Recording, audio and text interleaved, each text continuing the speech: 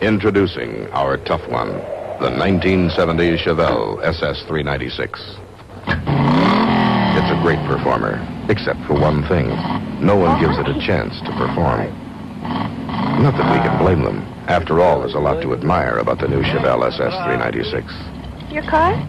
Hey, what's that? Hello, Tom. A no nonsense cowl induction hood you can order that actually feeds in extra air when you accelerate.